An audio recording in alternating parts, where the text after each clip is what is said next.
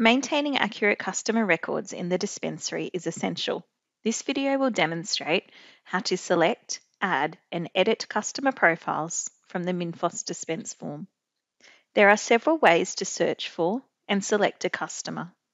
In the surname field, scan your store's own repeat barcode, scan the electronic script barcode, search for a customer by name, it is recommended that you input at least the first three letters of the surname. Enter a street number and part of a street name. Or enter a Medicare number with no spaces. When searching by Medicare number, the results will list all customers in the system with the same Medicare number. Include the IRN if you want a specific customer. In this demonstration, we will search by name. The customer's name is Bonnie Bush, so I will enter Bush into the surname field. Then press Tab. The customer search window is displayed showing the results of the search. If required, the customer search window has extended search ability. Select Find F4 to display the customer search dialog. You may select a radio button to confine your search to a particular type or simply start typing into the search box. As you type, the radio buttons will update to indicate the kind of search that is indicated by your search term. For example, 11 Main is recognised as an address search. Click the OK button to start the search. In this example, all patients with the address of 11 Main have been returned. If more than one customer is displayed, double click the correct customer or select the customer and then click the OK button. The dispense form is populated with the selected customer's details. In the Minfos dispense form, you can search for a customer. If there are no results for your search, the customer entry window is displayed. Alternatively, click Add to add a new customer. Use Tab to move through the fields and enter the information required. Enter the patient's preferred first names and surname. If this is the same name that appears on the customer's Medicare card, use the Copy Names button to duplicate the name into the Medicare Names field. If the customer's preferred name differs from the Medicare name, enter the Medicare registered name into the Medicare Names field manually. Enter the customer's title and select Gender from the drop-down list provided. The gender may populate automatically for some titles that are entered. Enter the patient's street address and suburb.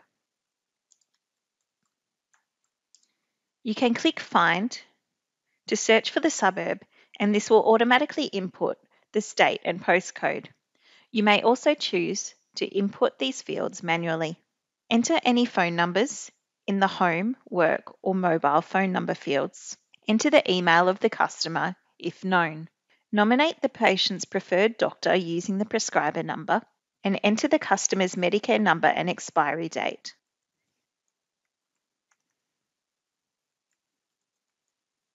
Ensure consent is set to all scripts. If applicable, enter the concession number and expiry date, safety net number and expiry date, repat numbers, expiry date and repat type, ensure the type is set correctly, the name of the health fund, health fund numbers, and expiry dates if applicable. If the customer has a carer, select the customer carer type, then enter the carer name. If applicable, enter the ward number and bed number. The customer account checkbox indicates whether the customer has a store account. If you have not already set up a store account for the customer, it is not recommended to tick the box at this stage. Select the copay status of the customer using the pharmacy default or opting the customer in or out. If the customer will keep their scripts on file at the pharmacy, check the scripts on file checkbox. On the upper right of the window, select the customer type from the drop-down box. Enter the customer's date of birth. The date of birth format is day, day, month, month, year, year. If the customer is pregnant, check the pregnant checkbox. This will need to be manually unchecked in the future. After you have completed all the appropriate fields, click the IHI search button to check for the customer's IHI number. If successful, the information will be returned and filled in the field. Click OK to save the new customer record and continue dispensing to this customer. You may choose to edit or update customer information at any time in the dispense process before finalising a script. With the desired customer selected, click the Change F3 button on the bottom left of the Minfos dispense form and the customer editing window is displayed. In this window, you can make any changes to the saved information as required. The customer editing window layout is very similar to the customer entry window shown earlier in this video. However, if you need to add carer information, this can be updated from the Carer tab along the top of the screen.